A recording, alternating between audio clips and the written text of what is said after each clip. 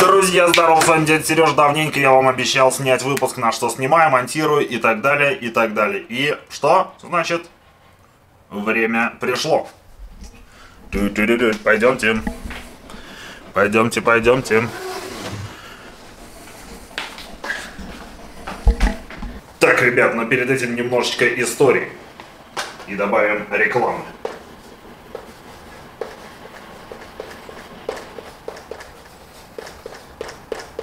Реклама. История эволюции техники дяди Сережи.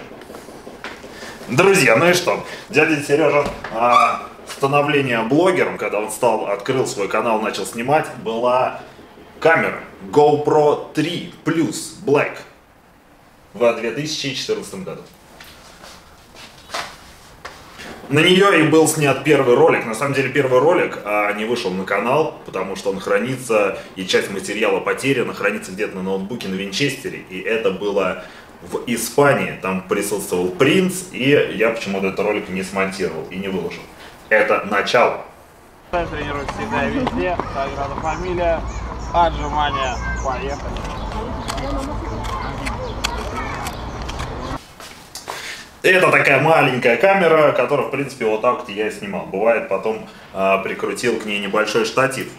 Но в 2015 году, плавая на каяках в Таиланде, э, я ее утопил. Точнее, не утопил, я ее уронил в соленую воду, и, естественно, она перестала работать.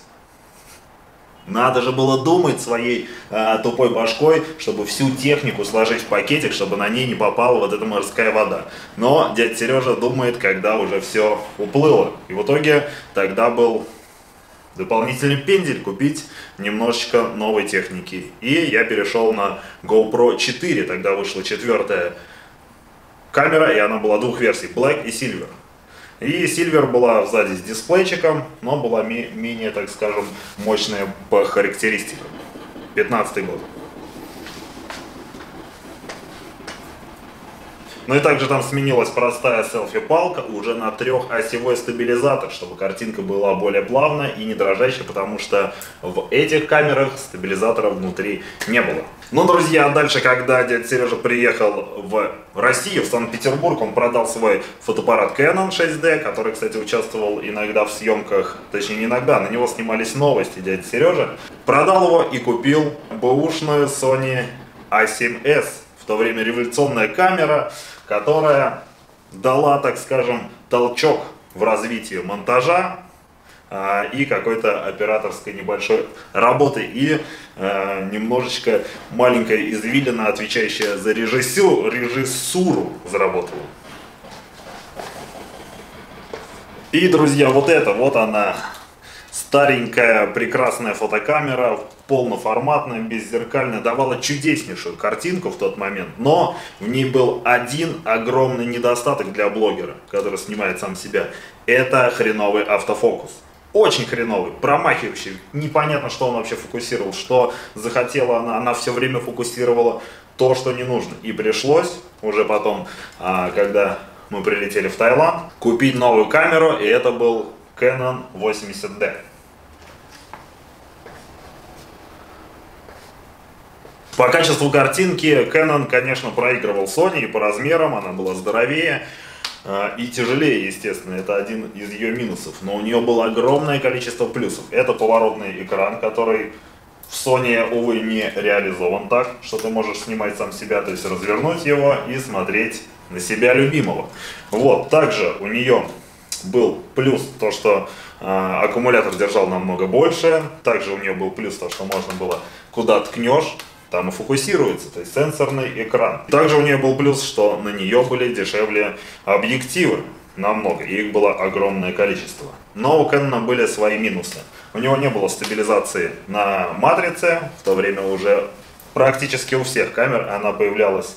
Плюс, точнее минус, то, что у Canon был очень большой вес и трехосевой стабилизатор не держал ее. И еще один минус, то что она была не очень светосильная. Вот, и тогда наступает 2017 год, и дядя Сережа покупает себе новую камеру.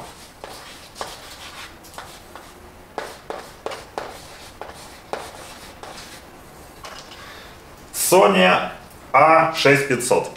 И Sony у нас остается основной камерой, то есть эта камера у нас основа. Напишем это так.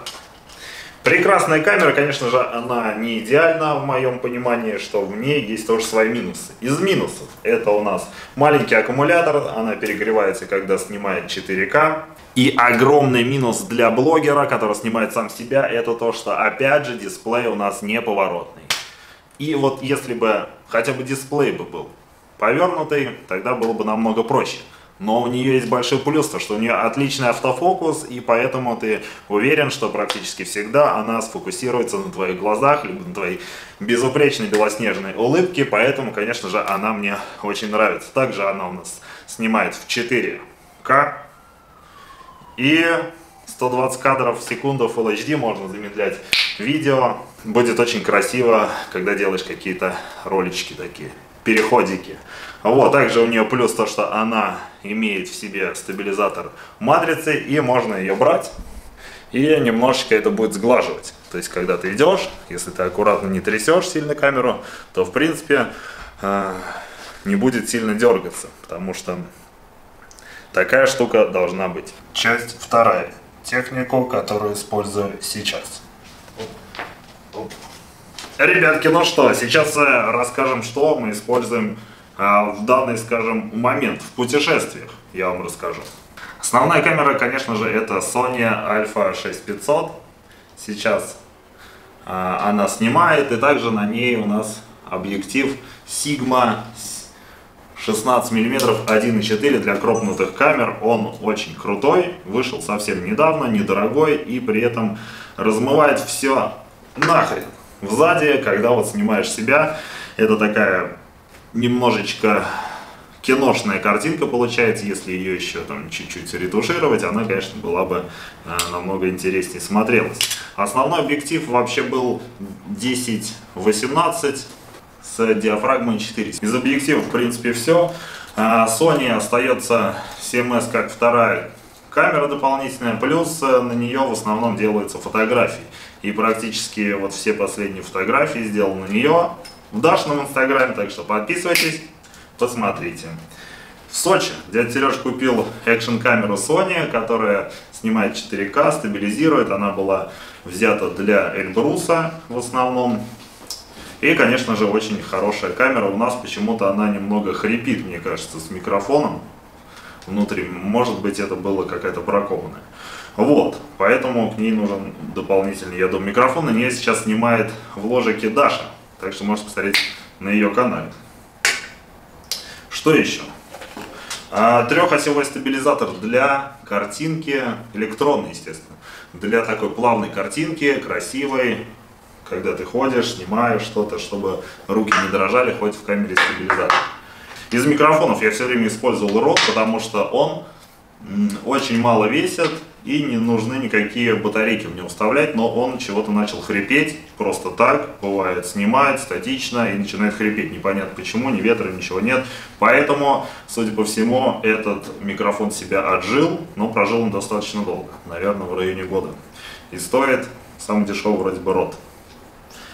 Так, Дядя Сережа сейчас с объективом в Китае купил два микрофона. Это Боя, такой маленький микрофон, такой смешной, как лапка кролика. И вот сейчас на камере у нас стоит микрофончик, э, так скажем, направленный. Его буду, думаю, использовать всегда. Из штативов. Вот этот штатив дядя Сережа взял с собой, он удобно тоже складывается, конечно, тяжелый, но что поделать. Приходится периодически таскать. И еще штатив, э, который остался за бешеные бабки. Спасибо Ленчу из Таиланда, который мне его подарил. Джови. Вот, он остался дома. И, в принципе, ну, для него не было места, и этого хватает за глаза. Также дома осталось еще несколько объективов. И GoPro тоже валяется там со стабилизатором в полке. Там еще, мне кажется, есть всякого барахла старенького. И переходим к дронам.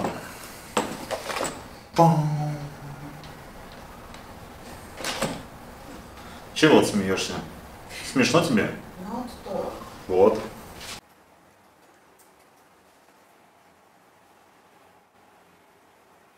Часть 3. Дроны и геликоптеры.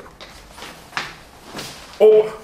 Я решил посвятить э, этому отдельную часть, потому что у меня опыт есть тоже с ними и есть что рассказать.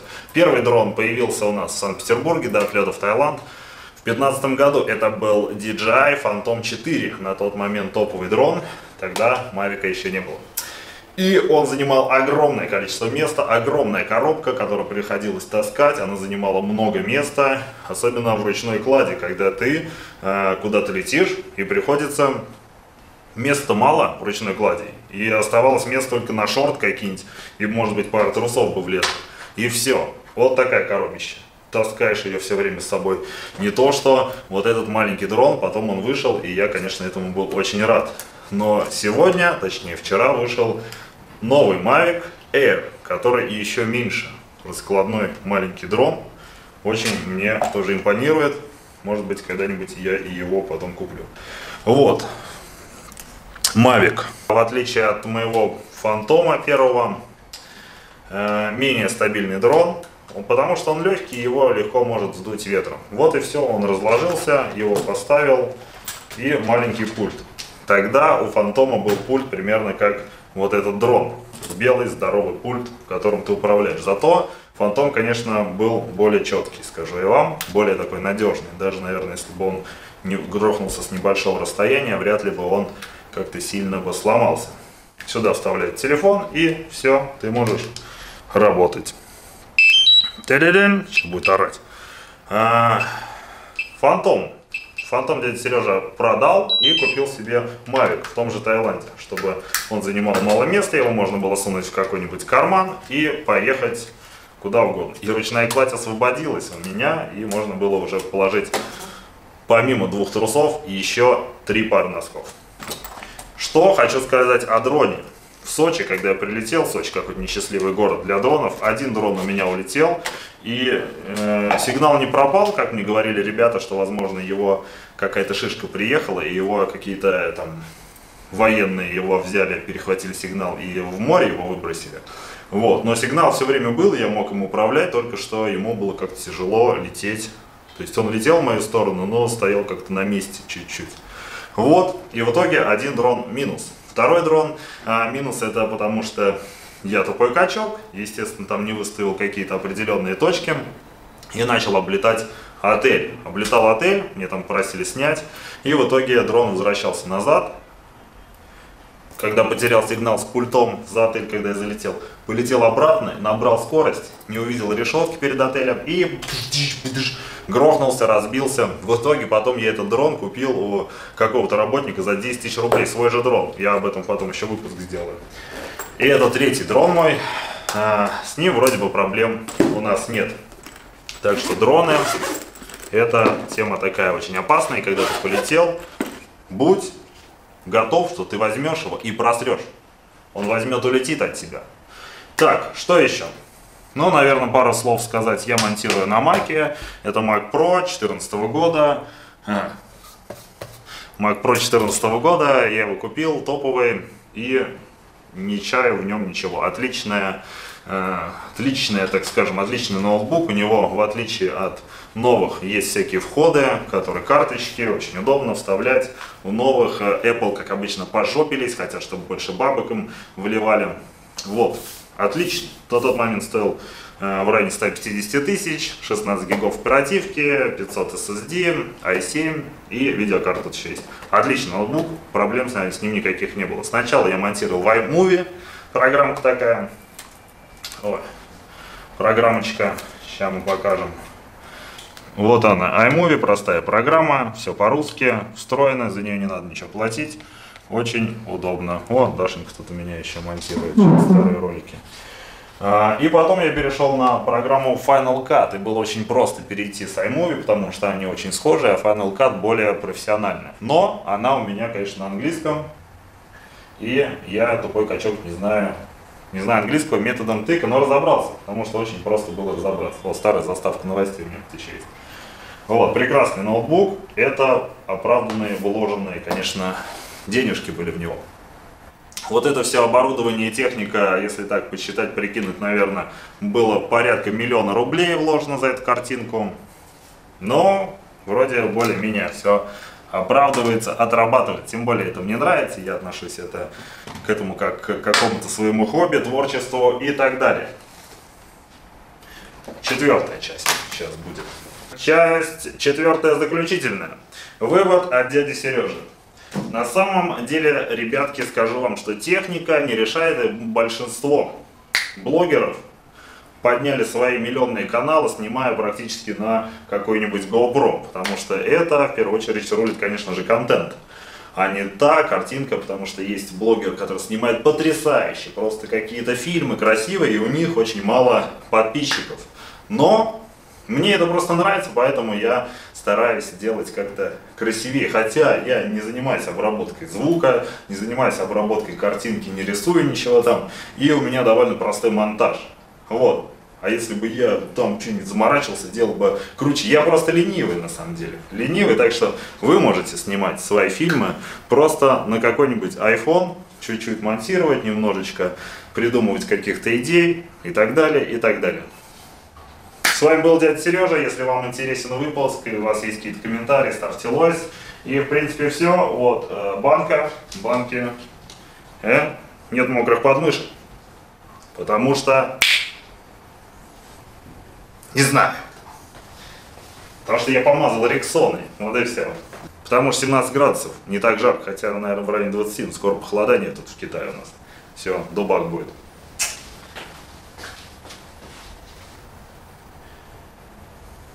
Все. Как нажать стоп? Wake up, everybody, no more sleeping in bed.